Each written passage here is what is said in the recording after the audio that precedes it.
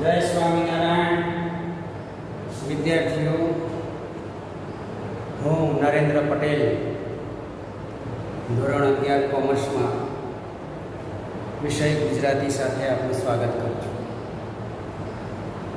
નવા વર્ષની અંદર અભ્યાસક્રમ શરૂ થઈ ચૂક્યો છે. આજથી જ આપણે કાવ્ય એક નાની વર્તો બોલ્યો. એની ચર્ચાથી શરૂઆત કરીશું. અગાઉ યુટ્યુબના વિડીયોની અંદર તમે અભ્યાસ કર્યો, એટલે તમે કાવ્યનો થોડો પરિચય તો મેળવ્યા જશો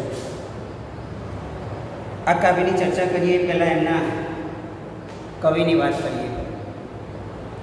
કાવ્યના કવિ છે ભાલણ. કવિશ્રી ભાલણ એ મધ્યકાલીન જે ગુજરાતી સાહિત્ય છે. એ ગુજરાતી સાહિત્યના શિરમૌર્ય કવિઓ થઈ ગયા એમાંના એક કવિ પંદરમી અને સોળમી સદીની વચ્ચે એના સમયગાળામાં આ કવિ થઈ ગયા અને એમના જે સાહિત્યને કારણે મધ્યકાળીન સાહિત્ય ખૂબ જ સમૃદ્ધ હતું ભાલણનું મૂળ નામ હતું પુરુષોત્તમ. અને કવિ ભાલણ તરીકે ઓળખાયા. મોઢ બ્રાહ્મણ જ્ઞાતિના પાટણના વતની કવિ તરીકે તેમણે સંસ્કૃત અને વ્રજ ભાષામાં ખૂબ જ ઊંડો અભ્યાસ કર્યો.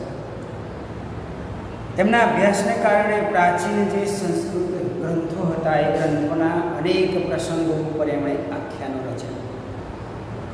એમાં દસમસ્કંદ જે છે, એ દસમસ્કંદમાંથી એમણે જે પદો રચ્યા છે, એ પદો ખૂબ જ ઉત્કૃષ્ટ પ્રકારના છે.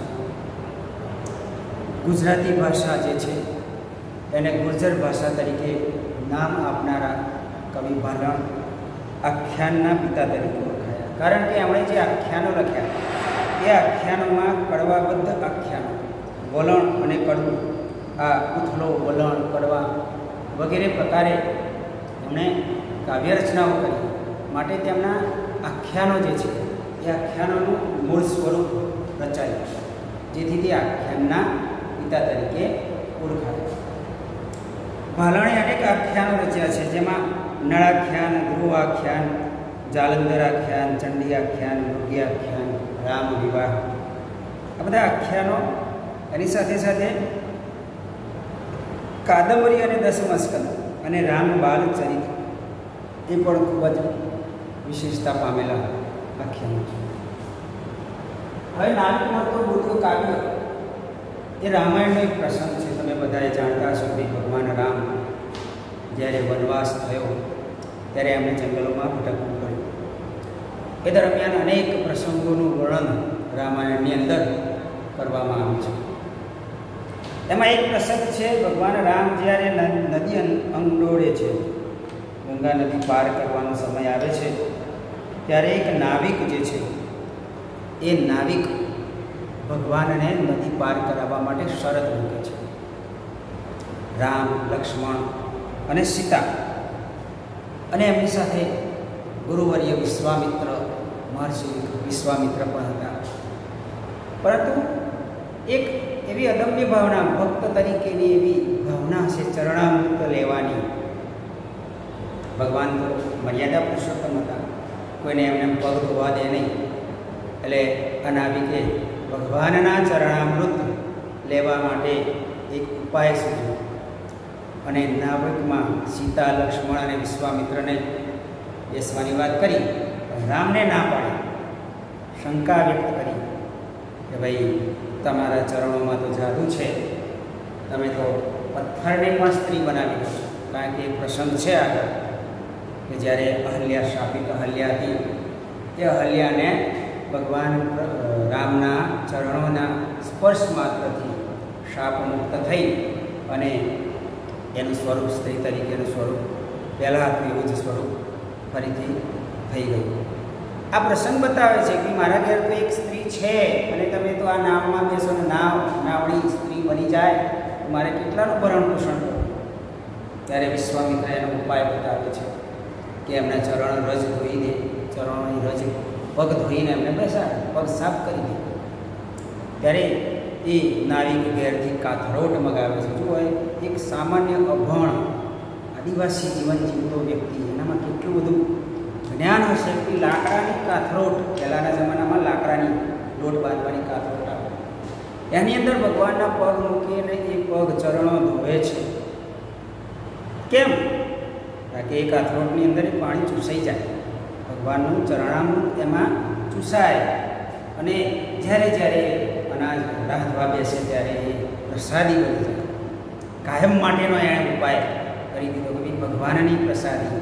કાવ્યો સાંભળ્યું છે કે પગ મને ધોવા ધોને રઘુરાય, શક મને પડ્યો છે મનમાં. એવું જ આ કાવ્ય ભગવાન રામ અને નાવિકના વાતચીતનું છે આમાં. સંવાદ તરીકે સંવાદ સ્વરૂપે આ કાવ્ય રચાયું છે. તમે આગળ વીડિયો જોયો, એમાં કાવ્યનું ગાન પણ કર્યું છે કે ભાઈ, નાવિક વિકવડતો બોલ્યો, સાંભળો મારા સ્વામ.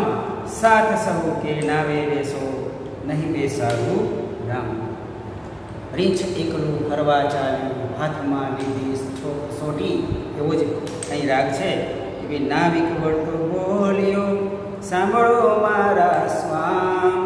સાથ સહુ કે નાવે બેસો, નહીં રામ. વાર્તા મેં સાંભળી છે, ચરણ રેણથી અપાર. અહલ્યા તા થઈ સ્ત્રી થઈ, પાષાણ પીટીનાર આજીવિકા મારી એ છે, જો મન વિવેક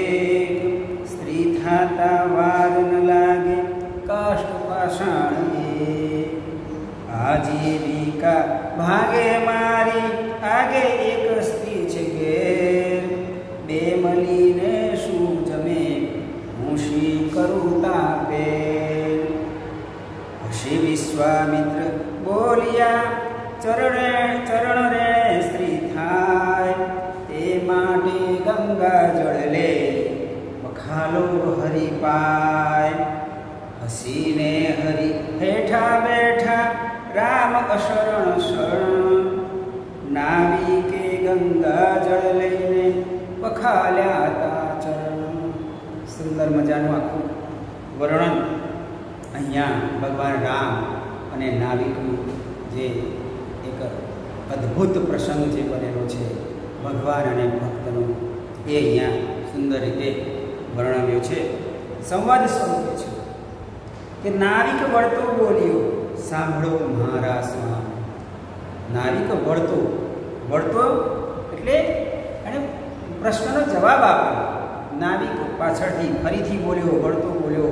એણે જવાબ આપ્યો એટલે નાવિક એટલે વહાણ હાંકનાર અથવા તો નાવ હાંકનાર શબ્દ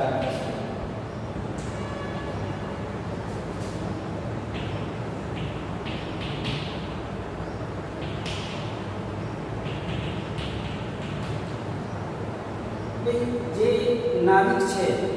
હોડી લઈને મુસાફરોને એક કિનારેથી બીજે કિનારે લઈ જવાનું કામ કરતો હોય, તેને નાવિક કહેવાય છે.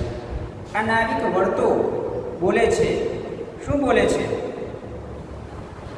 વહાણ છે નિવટ પણ થાય? પણ થાય.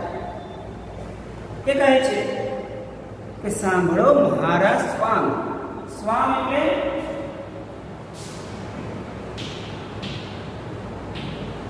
સ્વામી અહીંયા માલિક તરીકેનો ભાવ પ્રગટ કરે છે કે હે સ્વામી હું કહું છું તે સાંભળો સાથ સહુ કે નાવે બેસો નહીં બેસાયું રામ તમે સૌ સાથે બેસો બધા બેસો લક્ષ્મણજી સીતાજી વિશ્વામિત્ર ઋષિ તમે ત્રણેય બેસજો તમે આની અંદર બેસી શકો છો પણ રામને નહીં બેસાડો.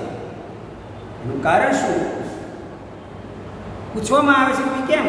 તું રામને નાવડીમાં બેસાડવાની ના કેમ પાડે છે? કારણ કે નાવિક તો અભણ હતો, એકદમ જંગલમાં જીવન વિતાવનારો ગરીબ માણસ કારણ પૂછ્યું કંઈ કારણ છે?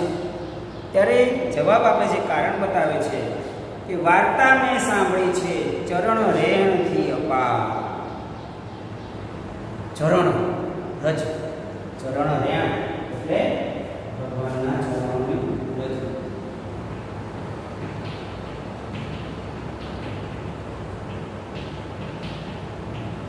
ચરણ એટલે પગ અને રજ એટલે માગી કે ભાઈ, મેં એવી વાત સાંભળી છે, વહેતી વહેતી વાતો આવી હોય. કે ભાઈ, તમે જંગલમાં જ્યારે ફરતા હતા, ત્યારે તમારા ચરણ રજથી અપાર અહલ્યા ત્યાં થઈ સ્ત્રી સહી, પાષાણ ફીટી ના. ફીટી બની.